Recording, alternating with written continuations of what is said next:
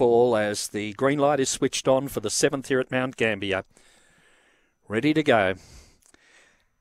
And away in racing, Born Attitude began smartly on the inside. Dusty Pearl joins it early. Then came Keen One, followed by Double Love down the back. Beat Max Bazza next, followed by Our Menace, Azumi Spirit, and Monganui Havoc off the back. And Keen One races to the lead from Born Attitude. In third placing, then came Double Love in the straight, though. Keen One in front, trying hard. Double Love, but Keen One wins. Double Love second, third went to Dusty Pearl. In behind them, then to pull up in fourth placing would have been Born Attitude followed by Beat Max Bazza. It was back amongst the tail enders with uh, Monganui Havoc back amongst the tail enders as well with Azumi Spirit.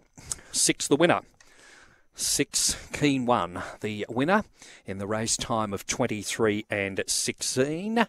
23.16 the time recorded by number 6 Keen One, defeating number 2 Double Love and 4 Dusty Pearl in third placing with number one, Born